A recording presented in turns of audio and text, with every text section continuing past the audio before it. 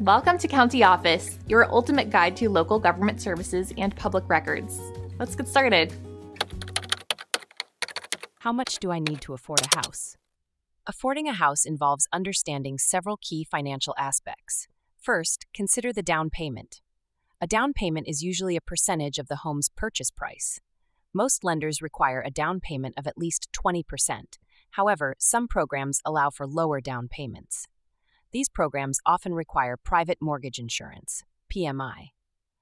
Next, think about your credit score. A higher credit score can secure a lower interest rate. Lower interest rates reduce the overall cost of the mortgage. Monthly mortgage payments are another consideration. These payments include principal, interest, taxes, and insurance, PITI. Ensure your monthly income can cover these payments comfortably. Debt to income ratio, DTI, is also crucial lenders typically prefer a DTI ratio below 43%. This ratio compares your monthly debt payments to your gross monthly income. Closing costs are another expense. These costs can range from 2 to 5% of the loan amount. They include fees for appraisals, inspections, and legal services.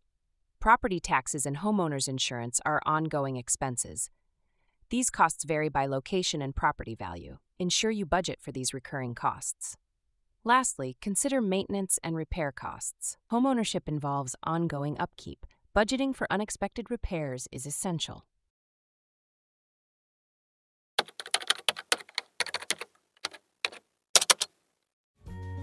To learn more, check out these links, which you can click in the description below. And feel free to comment your questions. We're here to help. Thanks for tuning into our video. Please like and subscribe and leave a comment below. See you in the next video.